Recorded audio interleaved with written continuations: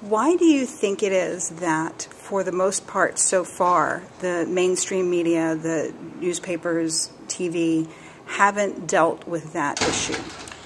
I'm afraid that they think it's a tinfoil hat, uh, some conspiracy theory. I don't think they really believe um, yet that there is a problem that, that we could have an industry that is actually doing this. Um, there,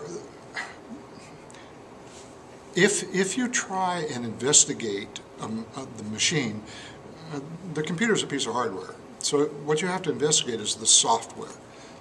And you, because the hardware doesn't tell you anything. So you go into the software and you audit the software.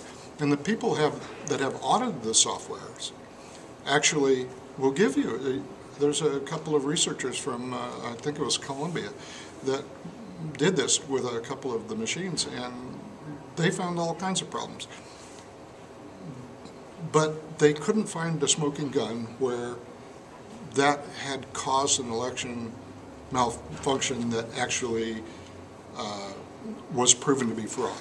And so right now it's still on that level of it's a conspiracy theory.